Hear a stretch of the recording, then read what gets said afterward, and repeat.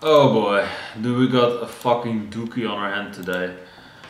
I was saying to Stephen Young, uh, Raditude is the the Uno dos Trash trilogy of um, fucking Weezer's career, Weezer's discography. It's pretty much the black mark on their discography. I've heard, you know, Rock Coliseum, you know, uh, ARTV, um, Rock Critic, Rocked, and Spectrum Pulse they had a discussion and they said, "Oh, wouldn't Weezer be so much better if they didn't have Raditude in their discography?" And to that answer, I would say yes, they would be a better band, but you would still have Make Believe and Pacific Daydream, which is old garbage, uh, and the fucking new Teal album. What does Teal even mean? Like light blue, greenish? Does it mean pistache basically? Because the new album, the new colored Weezer album is pistache colored, but I believe you say teal. I believe you know pistache is. Is that a Dutch word? I'm not sure, but like yeah, all of those modern Weezer records after White are just so terrible. Like fuck's sake. Like why couldn't Weezer quit after Everything Will Be Alright or White Album? You know those albums were so great. Why couldn't they just hang it up after that? Like fuck's sake, Weezer. But according to everyone, the Black Album is gonna be great. So hopefully Weezer will get back into some good, good music again after uh, three years. It feels like forever since we already had two records after that, and they were both hot garbage. So there we go. Uh, yeah, uh, speaking of hot garbage, Raditude is right here at your doorstep. Uh, it has three and a half stars on All Music, three stars by the users, which is really bad. I actually gave it a three and a half, but I'm gonna change that. Well, I'm not gonna change it yet because that would kind of spoil the rating, I suppose. But accord, you know, spoiler alert: it, this album is hot garbage. It's trash. You know, that's not really a new. It's not really a surprise, honestly. Um, yeah, if it comes to Weezer, I love their, you know, their their first two albums. I love the Blue album. I love Pinkerton. I like Green. I believe I've only reviewed their first three albums and I'm gonna review Hurley after this, so there we go. Yeah, after that I believe, you know, I'm done because I, I'm not really a review guy anymore because no one gives a shit, so there we go. Uh, yeah, so, Raditude. Um, it has a 1.62 on Your Music, which is really bad. A 5 is the highest score you can get and Blue Album has almost a 4. Pinkerton has a slightly lower rating, uh, 3.86, whereas the Blue Album is uh, almost a 4, 3.92. Uh, and pretty much the rest of their discography is like it. You know, Green barely makes a three. Maladroit uh, almost has a three. Make believe is you know it has a two. Red barely cracks two and a half. Uh, same thing with Hurley. I think Hurley is kind of good, but you know that's of course debatable. Uh, Raditude, you know, hot garbage. Uh, Death to False Metal was apparently a thing. Everything will be alright, and White Album, good received. Pacific Daydream is trash. The two album is actually quite underwhelming. It's not as bad as Pacific Daydream, but it's still pretty bad. So uh, yeah, I really hope that Weezer comes back with this Black album, or you know, they just have to hang it up, I suppose, because Black album cover wise doesn't really look good to me. Like you know, them covered up in paint, it looks really bad. So will probably not be good. But you know, saying that, I thought the I thought Pacific Daydream had a great album cover whenever it was uh, teased. You know, the the cover itself, the girl on a swing uh, above fucking Mother Earth. I thought that looked really cool. It still looks pretty cool, but the album is trash. So yeah, it's it's kind of like a throwaway cover at this point. So there we go. Probably the worst cover will go to Raditude or the Red album. The Red album is pretty bad. Red, Raditude and Hurley are all really bad. Red is really bad in general, Raditude is just bad all around, and Hurley is good, it's a good album, spoiler alert, but the cover is half-assed. It's the most half-assed Weezer cover of all time. You know, Red they tried, Raditude they tried less, and at Hurley they didn't even try. So, there we go. But uh, to talk about Raditude, I don't really have a lot to say about this record. Um, oh, I actually don't have my Wikipedia open for this, which is kind of surprising. Um, yeah, Raditude. Uh, we start off, of course, with the classic. If you're wondering if I want you to, I want you to, which is a retarded title, but it's, it's a good song. Um, the riffs are pretty catchy, they're captivating. You have that acoustic kind of banjo kind of uh, uh, kind of you know uh, sound to it, which is pretty good. The chorus is pretty electrifying. Uh, go. That was so out of tone. Um, it's just a great song. It's very poppy. It's very melodious. It's, it's in good taste. It's it's tastefully done. Production is really good. Uh, yeah, this is just a good song. It's uh, you know It's, it's, it's just like fucking um, like it's such a misleading song. I believe that Crash Roll, you know, Rock Critic, one of my favorite YouTubers, also said that uh, this song is just like it's such a misleading song because if you go to best ever albums, this song got an 82 out of 100, which is really good. And the rest of the album got like it got 50s and 60s and 170 rated song. That's it. And only if you're wondering, got an 80. It got an 80 and the rest of the album didn't even come near that number. So that should indicate how bad this album really is. And actually, if you go to best ever albums, the first, uh, the first uh, recommended video that you should click on is the, the rise and fall of Weezer Raditude, which is kind of funny. But uh, yeah, this is just a good song. The title's retarded, but it is probably like one of my favorite Weezer songs. Yeah, probably. I just really love the chorus. I really love uh, the colorful, bright nature of the song. It's just a great song. I love it. Yeah, it's pretty much my favorite of uh, of the Raditude Hurley era of Weezer. Pretty much my favorite song of that era. I, yeah, I'm not really a huge fan of Rat, so just even throw that record in there. Uh, then we get the second track, which is I'm Your Daddy. Retarded lyrics, just, uh, you know, I'm going Rolling Stone on this one, you know, Rolling Stone Pinkerton era completely ignore the lyrics pretty much on this whole entire album but especially on I'm Your Daddy the lyrics are just cringy um, basically the chorus goes like you're my baby girl tonight and I'm your daddy which is the creepiest thing I've ever heard Weezer saying this is just like um, I actually don't mind the instrumentals if this would be an instrumental uh, song if this would be an instrumental, I actually would really like the song. But even then you need some lyrics for that and they just fucked this song up. This song literally got served to you on a silver platter and the only thing that you uh, would have done to this song is write good lyrics for it. But even that you fucked up, you fucking... Like don't get me wrong, I love Weezer, I love their early stuff, but like this record is so trash. Like honestly. So I still probably would add the song to my favorite because I really like the instrumentation of the song. I just hate the fucking lyrics. So I will probably put the instrumental side of I'm Your Daddy and you know the rest of the, the record is trash. So spoiler alert. Girl Got Hot is generic garbage, it's just pandering, it's tasteless, it's just generic. You know, at least with I'm Your Daddy, it's creepy, it's weird, it's unique. Girl Got Hot is literally a generic party anthem. Speaking of party songs, can't Stop Partying. Um, it got a 54 on Best Ever Albums, which is terrible. That is a terrible rating.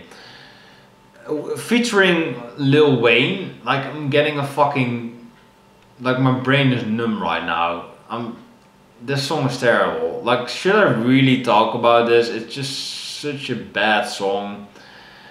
The the verses are phoned in. Lil Wayne's verses got awful. Like that guy hasn't been good in like. Well, he, he was good at that time, but even then he was fucking trash. So. Ah, like fuck's sake, mate. Um. I mean, the the verses phoned in. It's an electric auto tune pop song. It doesn't even sound like a Weezer song. There's rap in it like, this is a Weezy song. Like, fuck's sake, mate.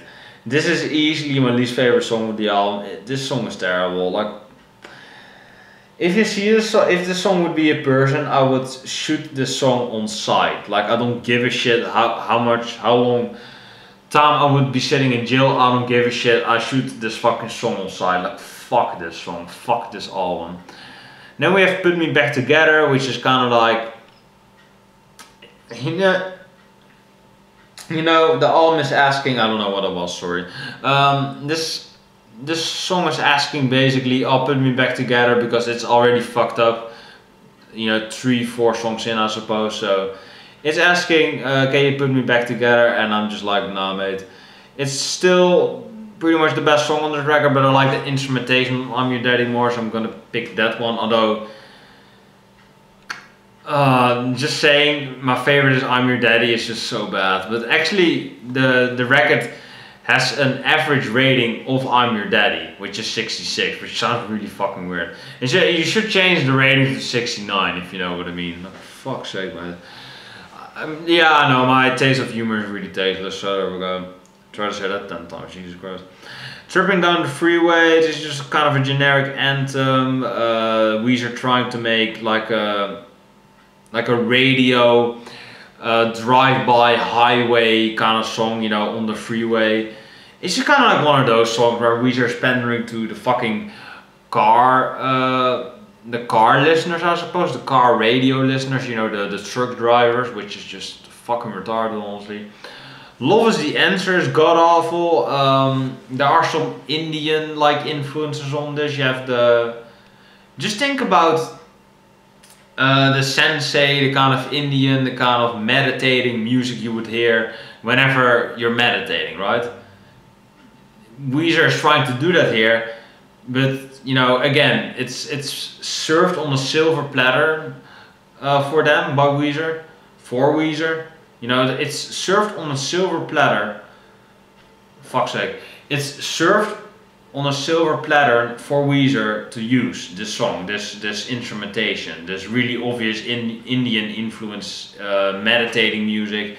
It's served on a silver platter for Weezer and they did absolutely nothing with it. Like they, like they did nothing. They made the vocals worse. The the, the aha, you know the the meditating sound, the, the voice that you hear on the song is just god awful. I don't know what they sampled for this. It just sounds absolutely lifeless, drab. It just sounds phoned in. This whole record is rushed. Like I believe this record came out one and a half year after a Red album, which is just kind of like why people were not excited for Weezer. Like Red Album was really middle of the road, and then you drop a Dookie like this.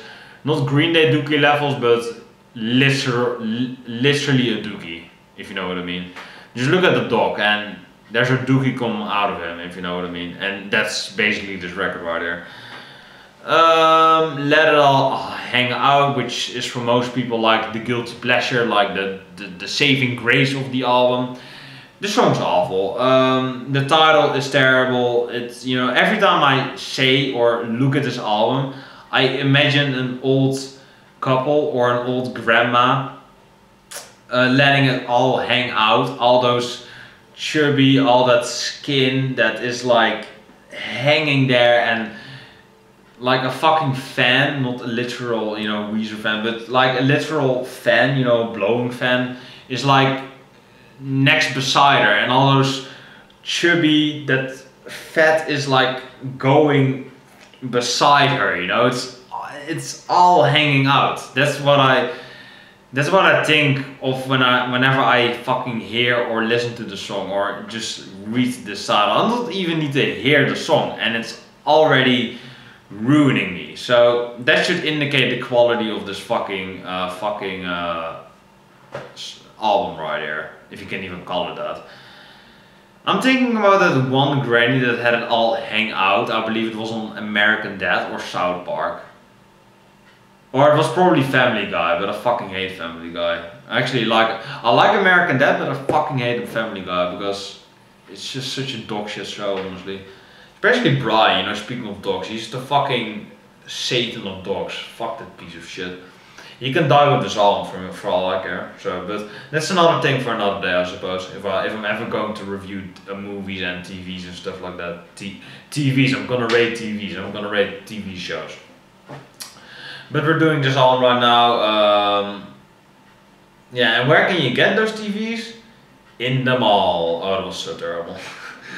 um, this is the most lifeless, the most dreadful, the most boring, forgettable song that Weezer's ever wrote in their career. Because you can say Can't Stop Partying is the worst song they've ever made, which is true. But at least it's memorable because it's so god awful. In the Mall is so fucking mediocre, it's so bad, it's so... Nah. that there's literally nothing to talk about here. The song is just plain bad, and it's not really anything. Honestly, it's just there. So I don't really have a lot of things to say about the song other other than if I have to say the worst Weezer song, as in just normal Weezer, not this bullshit Weezy can't stop partying bullshit, then In the Mall would be a good contender for the top spot, as in worst Weezer song. Although that new 2 album is really getting on my nerves too, but that, that's a covers album. And well, you have Pacific Daydream too. Man, Weezer have a lot of bad albums, for fuck's sake. But I still love them. I still love their early stuff, so I just ignore their later stuff, like fuck that noise. Okay, except for everything and uh, EWBAITE and uh, White. You know I like those albums, so there we go. And then we have I Don't Want to Let You Go, which ironically got a 69. Yeah, if only I'm Your Daddy got that rating, for fuck's sake. Um, yeah, this is just a sappy kind of goodbye song. It's just really generic, you know. It's like every Maroon 5 ending uh, song, you know. Weezer got to the level of Maroon 5. It should indicate how fucking awful Weezer is. Nowadays, I would say Weezer didn't used to be this bad, but you know, they are now, so there we go. And yeah, they got to, to this level again recently with Pacific Daydream. So yeah, Weezer can't fuck all, really. Uh, there's not a lot to say here. It's just you know kind of like every Maroon Five ending song. It's really sappy. It's really predictable. But I suppose you've never listened to a Maroon Five album, and glad for you because that would not be a good idea. You know, um, songs about Jane and It Won't Be Soon. You know, retarded album title. Those are good albums. Hands All Over is kind of a guilty pleasure for me, but outside of that, Maroon 5 is awful, so there we go. Um, yeah, and what's the thing? Fucking. This album is just bad. Like, it has such a sappy ending. Um, I mean, if you're wondering, is the only saving grace of, of this album and I'm Your Daddy is kind of a guilty pleasure for me because it's creepy, it's weird but it has good instrumentation. I like the instrumentation on the record, so that's something I guess. Girl Got Hot is hot garbage. Can't Partying is the worst thing they've ever made. Put Me Back Together, you know, it's a C minus kind of song, but it doesn't really save the record, honestly. Tripping Down the Freeway is. Love is the Answer is just unnecessary. Let It All Hang Out is cringe. In the Mall is the worst normal sounding Weezer song, if that makes sense.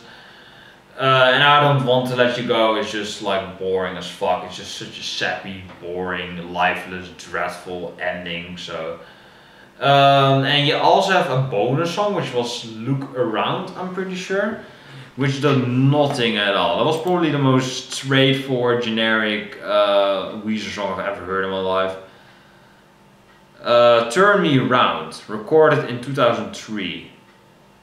Oh, apparently they recorded this around Maladroit era, but it still sounds like ass. I'm, I'm, I'm wondering why they saved it for Raditude. I'm wondering. But yeah, this, uh, this record is awful. Like, yeah. The first two songs, in my opinion, are good. The rest of the record is fucking trash. And since there are 10 songs on this album, that would be that would make a really easy rating. I like two songs and I fucking hate the rest. 2 out of 10. Yeah, pretty much. I believe that Alex gave it a 2 out of 10, so yeah, fair game. It's a terrible album, so there we go. If you enjoyed this uh, album review, then let me know in the comments down below why. Uh, what should I review next? Or, well, I'm not gonna really I'm not to take notes anymore because I'm just kind of finishing up right now because no one gives a shit about this, so there we go. Um, yeah, again, I would probably uh, only put If You're Wondering in the favorite tracks and I'm Your Daddy as in instrumental side, I like that, but the lyrics are awful, so there we go. So I might even give this album a one and a half, but I would still I, I would still be generous to Weezer and give them a two because you know I, I like Weezer. I, I love the early stuff, so I'm kind of a sucker for that. So there's a little bit of bias in this review, but for most of the part, I fucking hate this all. You know, your your your back catalog can be as great as the Smiths, Oasis, uh, fucking you know your own career itself. You know, it can be as great as that. but even then, there's all you know. You cannot defend this album. Like fuck's sake, mate. Kind of like you know, you know. While while we're talking about Lil Wayne, kind of like Snoop Dogg with Doggy Style. Such a great debut album, and then the Doggfather. The Dog, the Doggfather's kind of like his Raditude in a way. Although it's still considered one of his best albums, you know that's how bad Snoop Dogg is. And he's one good album in his career, so there we go. I don't know where- where I was going with that, but it, it it's kind of like for Snoop Dogg, you know, it's kind of more extreme with Snoop Dogg because Snoop Dogg went from levels of blue, the blue album Weezer, from immediate make believe Raditude bottom of the barrel garbage, he immediately went down to that. Whereas Weezer made a slow decline, you know, Blue Album, Pinkerton, Green already really sinks Weezer into, you know, the downfall. Uh, Maladroit, Make Believe, Red, and then Raditude. Like my hands on the fucking ground right now. And then Hurley, it kind of came back again, but Weezer just kind of gave up at that point. So there we go. Cannot blame the band honestly. And then you had to wait four albums for a new Weezer album that didn't actually suck. So that was actually quite surprising for most people. But uh, I'm going on for too long now. So thanks for watching this video. Uh, let me know what, what you think about the Weezer discography. Do you like the band? Do you hate the band? Let me know in the comments down below. I, I, I love Weezer. I love uh, their first four albums. I love uh, Everton, EWBAITE and White, all love those albums, and I like Hurley, spoiler alert. So yeah, there we go, we're going to talk about Hurley in the next one. Hope you've enjoyed this video, and I'll see you in the next one. Peace.